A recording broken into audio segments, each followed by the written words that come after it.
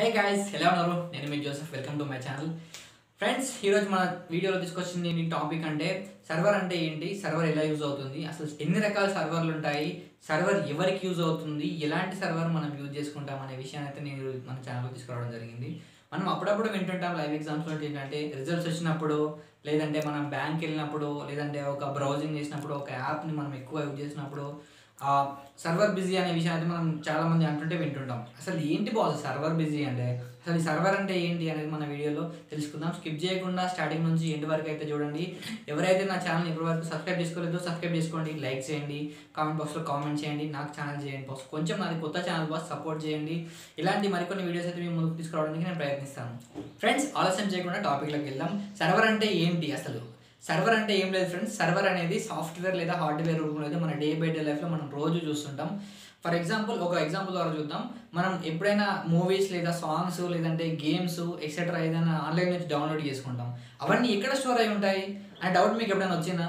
లేదు ఏదైనా ఆన్లైన్లో మనము రిజల్ట్స్ రిలీజ్ చేశారు మనకి సంబంధించిన రిజల్ట్స్ లేదు బ్యాంక్లో ఆన్లైన్కి సంబంధించిన అన్ని లావాదేవీలు అని చెప్పేసి నా లోపల పెట్టేస్తారు. అవి ఎక్కడ ఉంటాయి? ఎవరి దగ్గర ఉంటాయి? మనకు అవసరమైనప్పుడు ఎవరు మనకి ఇస్తారు అనే డౌట్ మీకు ఎప్పుడైనా వచ్చిందా? అదే ఫ్రెండ్స్ ఇవన్నీ డీటెయిల్స్ అన్నీ అయితే సర్వర్ అనే దాంట్లో అయితే సేవ్ చేయబడుతుంది. ఈ సర్వర్ అంటే ఏం లేదు. మనకు అవసరమైనప్పుడు సర్వ్ చేసే ఒక సర్వర్ అంతే. అవసరమైనప్పుడు సర్వ్ చేసే సర్వర్ లాగా మనకి ఏది కావాలని చెప్పినా కూడా సర్వర్లోకి వెళ్ళి కావాల్సిన సర్వర్లోకి వెళ్ళి మనకు కావాల్సిన డీటెయిల్స్ ఏవైతే ఉంటాయో అవి కావాలని ఎంటర్ చేస్తే అవి మనకైతే అందుబాటులోకి వస్తాయి. సర్వర్ అంటే ఇంతే ఫ్రెండ్స్ సర్వర్ అనేది ఎన్ని రకాలుగా ఉంటుందని మీకు డౌట్ రావచ్చు. చాలా రకాల సర్వర్స్ ఉంటాయి. ఫర్ ఎగ్జాంపుల్ నేను ఒక మూడు నాలుగు సర్వర్స్ అయితే మీకు చెప్తాను.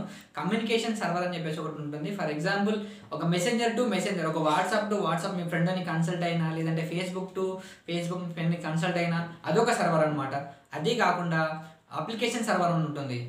మీరు ఆన్లైన్ ద్వారా చూస్తుండొచ్చు. ఈ మధ్య అప్డేటెడ్ వర్షన్స్ వచ్చినప్పటి నుంచి మనం వాయిస్ సెర్చ్ చేసినప్పుడు ఏదైతే మనకు అందుబాటులోకి వస్తుంది లేదంటే వాయిస్ సెర్చ్ ద్వారా కొన్ని కంట్రోల్ చేయొచ్చు. టీవీ రిమోట్స్ అని లేకపోతే ఏసీ రిమోట్స్ అని వాయిస్ సెర్చ్ ద్వారా కంట్రోల్ చేస్తుంటాం కదా వైఫై కంట్రోలింగ్ కూడా ఉంటుంది. ఇలాంటి వాటిని అయితే అప్లికేషన్ సర్వర్ అంటారు. ఇదే కాకుండా గేమింగ్ సర్వర్ అని మనకు ఉంటుంది. ఫర్ ఎగ్జాంపుల్ గేమింగ్ అంటే మనము ఒక టెంపుల్ రన్ చూసుకుందాం. టెంపుల్ రన్ ఏదైతే ఉందో మనం స్టార్ట్ చేస్తాం. ఫస్ట్ డే స్టార్ట్ చేసినప్పటి నుంచి మళ్ళీ ఈరోజు ఆపేస్తాం. లేదా రేపు మళ్ళీ స్టార్ట్ చేస్తాం.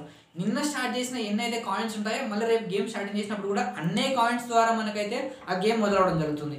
ఇలాంటి గేమింగ్ సర్వీస్ కూడా మనకు అందుబాటులో ఉండేసి సర్వర్ ద్వారా వాళ్ళు ఎప్పుడైతే ఉంటారో కంపల్సరీ వాళ్ళ అప్డేట్లను మనం వింటుంటాం.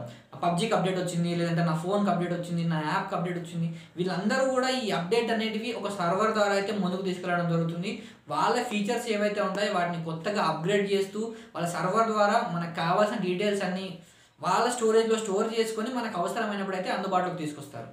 ఫ్రెండ్స్ ఈ సర్వర్స్ అయితే మనకు one lakh to ten lakh servers అయితే మనం చూడొచ్చు. ఈ సర్వర్స్ని మనం అప్పుడప్పుడు వీళ్ళు ఆపేస్తుంటారు. ఫేస్బుక్ ఆగిపోయింది లేదంటే నాకు గేమ్ ఈరోజు రావట్లేదు లేదంటే హ్యాంగ్ అవుతుందని చూడొచ్చు. వీళ్ళు అప్గ్రేడ్ కోసం అప్గ్రేడ్ చేయడం కోసం అయితే గేమింగ్ని లేదా యాప్ని లేదా వాళ్ళ సర్వర్కి సంబంధించిన ఏ డీటెయిల్స్ అయితే ఉంటాయో వాటికి సంబంధించినవి కొంతకాలం ఆపేసి ఒక టూ అవర్స్ త్రీ అవర్స్ లేదంటే వన్ డే ఆపేసి మళ్ళీ నెక్స్ట్ డే నుంచి అయితే వీళ్ళు స్టార్ట్ చేయడం జరుగుతుంది.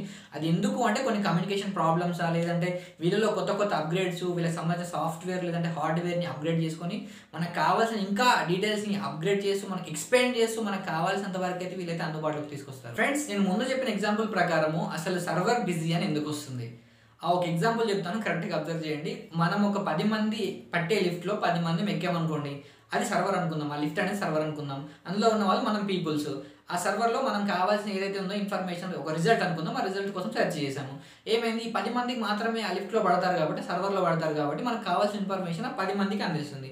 లేదు ఒక ఈ పది పదిహేను మంది ఇరవై మంది వరకు ఎక్స్పెండ్ అయిపోయి ఆ లిఫ్ట్లో ఎక్కారనుకోండి అదేంటి లిఫ్ట్ చేయదు సర్వర్ కూడా అంతే. మనకి ఎంతవరకు అయితే కావాల్సినంత మంది ఆ దాంట్లో ఉంటారో లేదంటే కావాల్సినంత మంది ఏదైతే ఇన్ఫర్మేషన్ కోసం దాన్ని అప్రోచ్ అవుతారో వాళ్ళు మాత్రమే ఆ సర్వర్ నుంచి కావాల్సిన డీటెయిల్స్ అనేది తీసుకుంటారు. లేదు ఎక్కువ మంది ఎవరైతే ఉంటారో వాళ్ళు సర్వర్లో వాళ్ళకి కావాల్సిన ఇన్ఫర్మేషన్ కోసం సెర్చ్ కొట్టారు లేదంటే ఆ సర్వర్లో ఎంటర్ అయ్యారు అంటే సర్వర్ బిజీ అవ్వడం లేదంటే హ్యాంగ్ అవ్వడం లాంటిది మనం అబ్జర్వ్ చేస్తుంటాం. ఏంటి బాస్ ఇందాక చెప్పావు కదా సర్వర్ బిజీ రాకుండా వీళ్ళు కొత్త కొత్త అప్గ్రేడ్స్ లేదంటే వీళ్ళకి కావాల్సిన ర్యామ్ స్టోరేజ్ ఎక్స్పెండ్ చేస్తుంటారు. మళ్ళీ నువ్వు బిజీ వస్తుందని చెప్తున్నావు ఏంటి అంటే వీళ్ళు ఎంత చేసినా సరే మనకు కావాల్సిన ఒక లిఫ్ట్ని మనం ఎంత అప్గ్రేడ్ చేసినా సరే కావాల్సినంత మంది మాత్రం పడతారు. ఎక్కువ మంది పడడానికి అవకాశం అయితే లేదు కాబట్టి.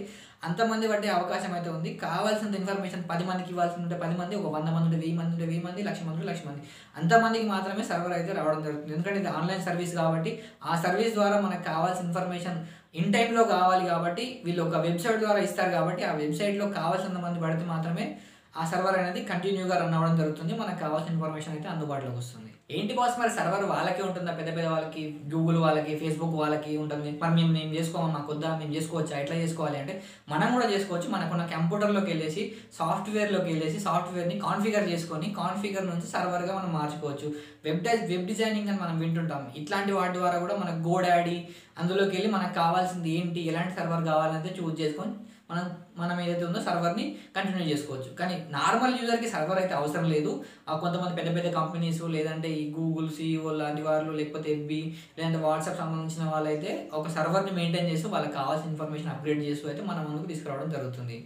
ఫ్రెండ్స్ ఇది ఈరోజు వీడియో. నా వీడియో కనుక మీకు నచ్చినట్టయితే నా ఛానల్ సబ్స్క్రైబ్ చేయండి లైక్ చేయండి కామెంట్ బాక్స్లో కామెంట్ చేయండి. కొంచెం సపోర్టివ్గా ఉండండి. ఇలాంటి మరికొన్ని వీడియోస్ అయితే మీ ముందు తీసుకురావడానికి నాకు ఒక ఛాన్స్ ఇవ్వండి. థ్యాంక్ యూ ఫ్రెండ్స్ ఇది ఈరోజు వీడియో.